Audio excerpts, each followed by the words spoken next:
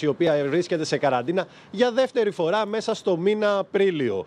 Ε, όλα ξεκίνησαν την Τρίτη. Την Τρίτη λοιπόν Νίκο, ε, μια οικογένεια η οποία θέλει να φύγει από εδώ, πήγε ε, στη μία ΜΚΟ, συνεννοήθηκε με τους ανθρώπους που δουλεύουν εκεί, ώστε να ξεκινήσει η διαδικασία. Οι άνθρωποι της ΜΚΟ έφτιαξαν τα χαρτιά και έκαναν εξετάσεις στους ανθρώπους. Εκεί ο, ο 30, ένας 38χρονο Αφγανός, ο πατέρας της οικογένειας, ο σύζυγος της γυναίκας αυτής, βρέθηκε θετικό ναι. στον κορονοϊό. Ναι. Έτσι λοιπόν ξεκίνησε μία ιχνηλάτηση. Και βρεθήκαμε να έχουμε ένα περιστατικό που έγινε ναι. την Κυριακή το Πάσχα, στο, κατά το οποίο.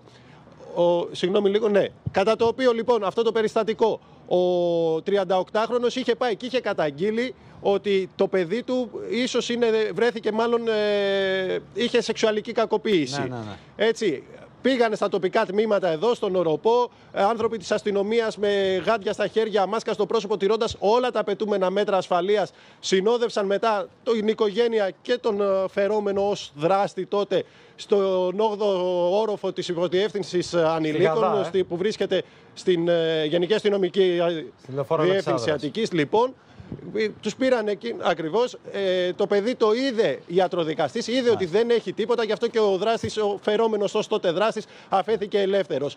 Ε, Όμως, όταν μαθεύτηκε αυτό, γίνανε απολυμάνσεις παντού. Γίνανε απολυμάνσεις στα. Α ευχηθούμε, Παναγιώτη. Να είναι όλοι καλά, να μην έχουμε Συγγνώμη, δεν σας ακούω καθαρά. Στην ελληνική ναι. αστυνομία. Έχουμε μιλήσει και με τον κύριο Ντούμα, ο οποίος είναι πρόεδρος των αστυνομικών. Μας είπε ότι είναι όλοι τους καλά. Έχουν γίνει, έχει γίνει απολύμανση από τότε στον 8ο όροφο της, ε, που είναι το τμήμα ανηλίκων. Έχουν γίνει στα αστυνομικά τμήματα, στα περιπολικά. Την καλημέρα μας, Παναγιώτη. Λοιπόν, Καλή συνεχίζουμε. Συνέχεια. Καλό ρεπορτάζ. Καλό συνέχεια ρεπορτάζ. Λοιπόν, νομίζω ότι ήρθε η ώρα να πάρουμε μια γεύση λίγο από το διεθνές περιβάλλον. Τι γίνεται στον κόσμο. Δεν το έχουμε κάνει αυτό. Ελευθερία Νταβατζή. Καλημέρα, Ελευθερία. Καλημέρα.